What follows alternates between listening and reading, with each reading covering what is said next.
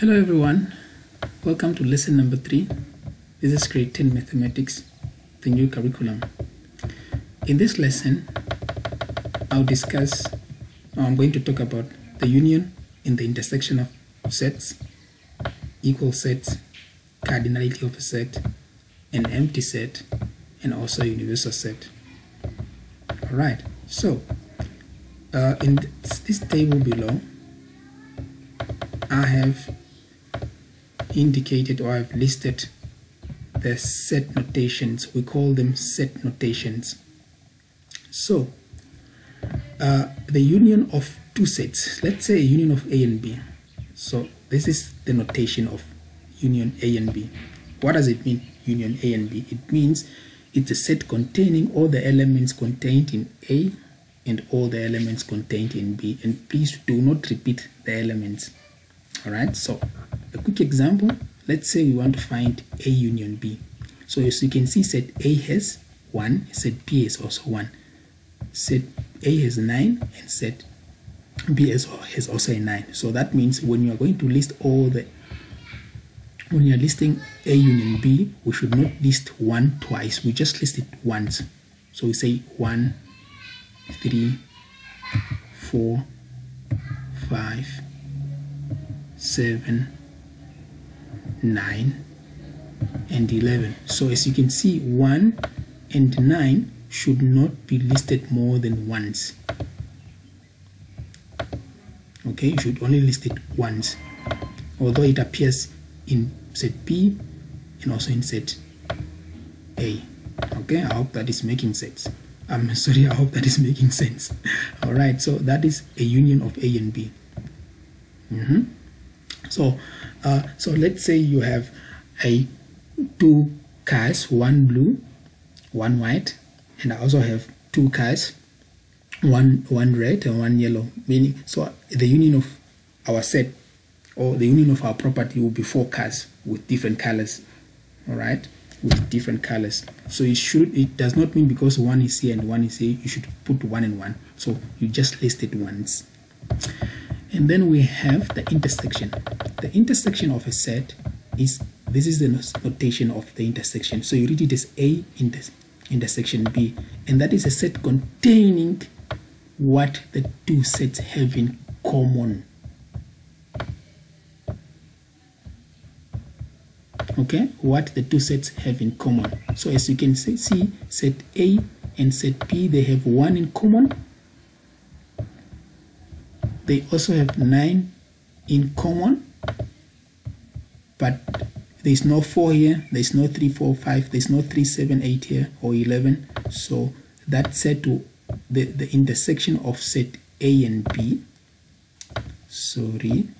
The intersection of set A and B will only contain 1 and 9 my friends I hope that is making sense. Okay so this set will only contain sorry only contain two elements and that is 1 and 9 because that is what they have in common. The intersection is what the two sets have in common. All right. Then we go to what is called the cardinality of a set. Or before the cardinality of a set we have equal sets now, equal sets, these are sets with exactly the same elements. Not the number of elements, exactly the same. So we can say that set B is equal to set D because they have exactly the same elements. But we cannot say that set B and D are equal to set C, although they, they have each three elements. We are not looking at the number of elements, we are looking at the elements it, themselves. Alright, so set B is 149, set D is 149. So these two sets are equal because they have exactly, exactly the same elements. Alright, and then now we can talk about the cardinality of a set. So the number of elements, so the number of elements in a set So the cardinality of a set is the number of elements in a set. All right. So and this is this notation. So it's a small n, open bracket, capital letter. Remember that your sets should always be denoted or the, the notation of sets is always a capital letter. So this is a number of elements in set A. All right, now let's look at this. Let us find the number of elements in set P.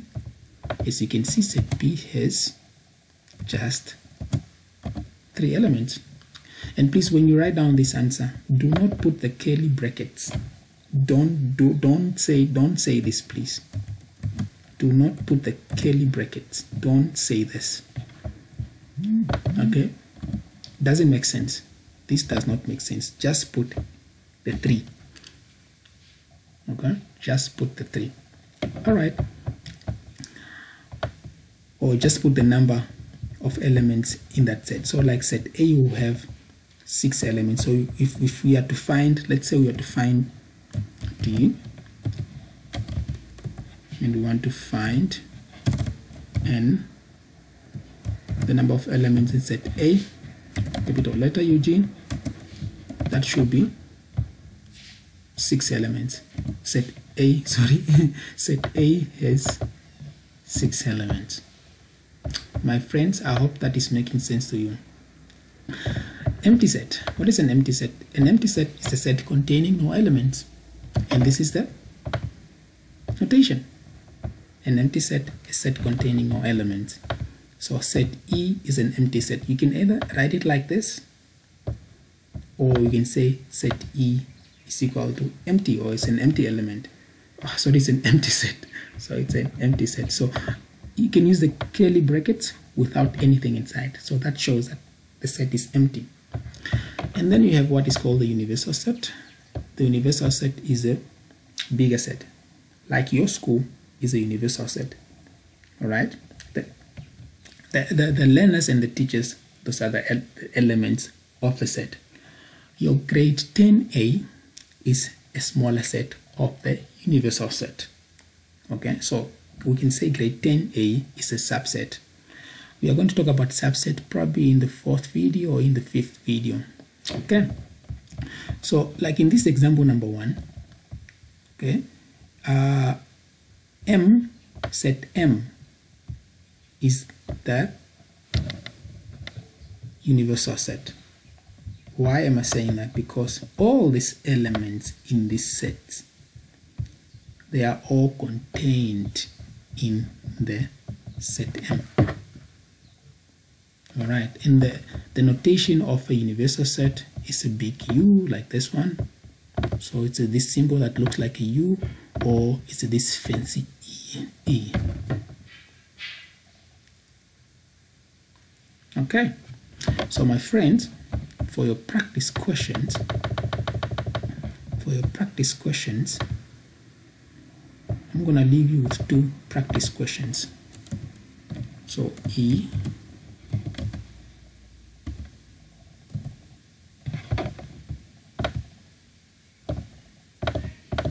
I want you to find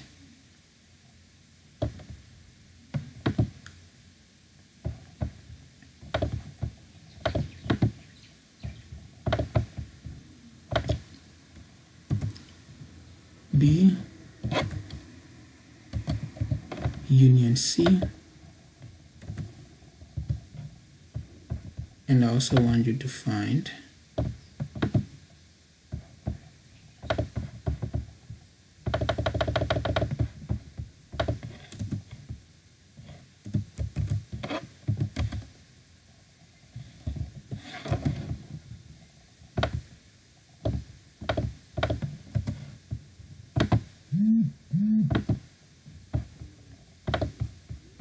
you to find A intersection C.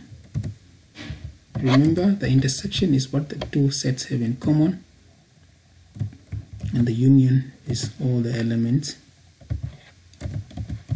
listed together, but do not repeat the elements. And then the last one, I want you to find the cardinality of a union B.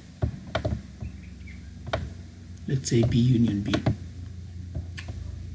Okay, so my friends, this is this these are your practice questions so EFG